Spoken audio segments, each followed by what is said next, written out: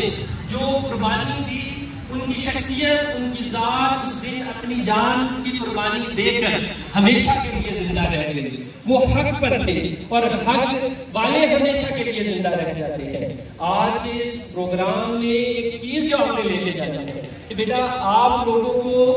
हक का जितना भी कमज़ोर नज़र आ रहा हो, याद रखिएगा, हक हमेशा हमेशा रहता